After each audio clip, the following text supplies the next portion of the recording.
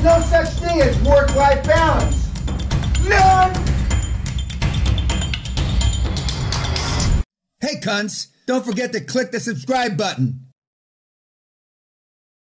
We are on the cusp.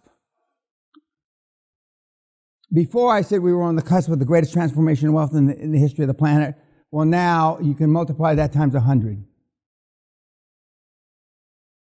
And of course, that's why some of you are here. Because you know this is it.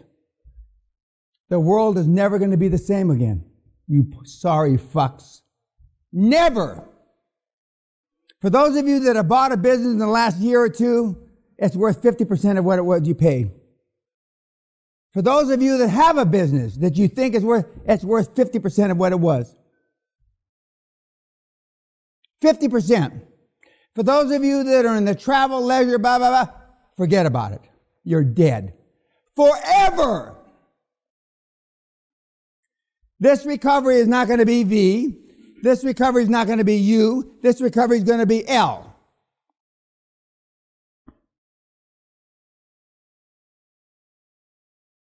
This recovery is going to be a. And we are going to eliminate certain industries from the planet forever.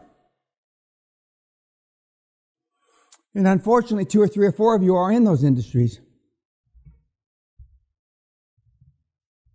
You're just fucked.